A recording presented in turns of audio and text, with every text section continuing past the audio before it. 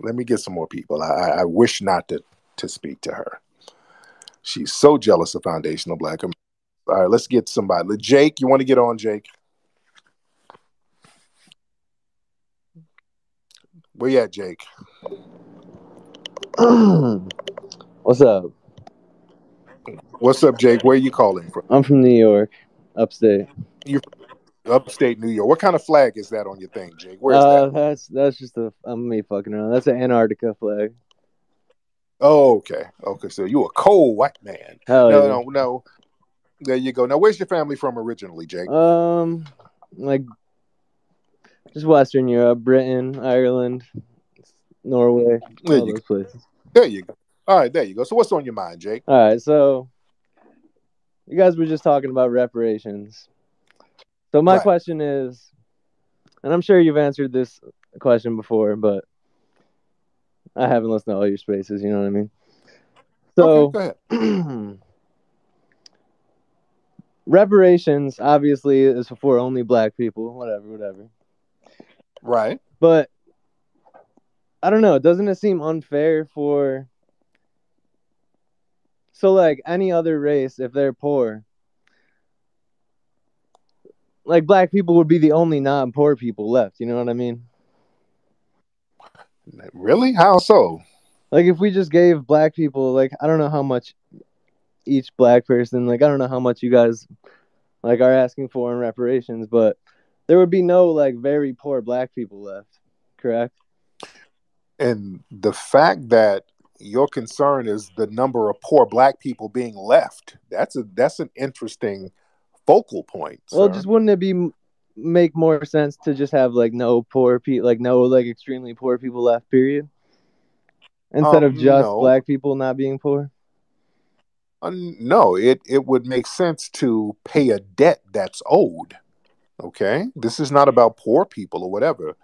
I'm not poor, but I want my damn check from reparations because it's owed to me, and it's owed to other black people, and we've been systematically locked out of the debt that's owed to us. We built the country. No other group built this country but foundational black Americans, and our family did it for free. So we have a unique situation.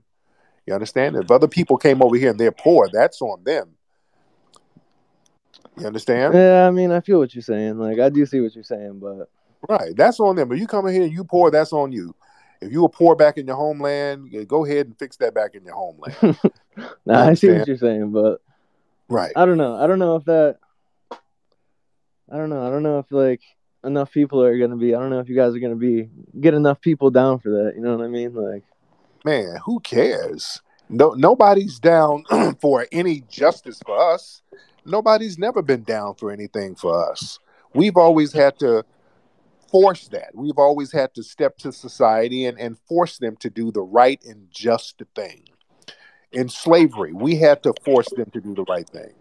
During the Jim Crow era, we had to force them to stop Jim Crow. We had to force them to produce civil rights, just basic rights. So we're not leaving it up to the white supremacists to do the right thing. They've never voluntarily done the right thing. We've always had to have movements to make them do the right thing, to make them just, because they're just not just people.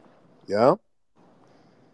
So people are going to be mad regardless. So we're past that whole thing where we're just going to go along so that people won't be mad. They're mad whatever we do. If yeah, we just feel you. exist, they're mad.